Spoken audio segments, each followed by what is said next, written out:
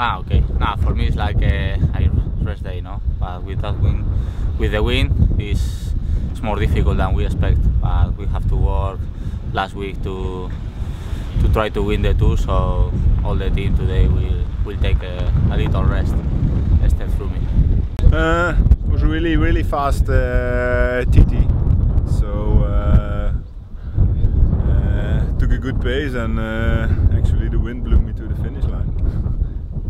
Yeah, it was uh, was hard. Uh, wind was um, a lot uh, in the face, and uh, yeah, it was a hard uh, time trial. Yeah, it's good. It was windy. You know, it's like, um, well, I was really relaxed. I Tried to enjoy it really. So yeah, it was a good day.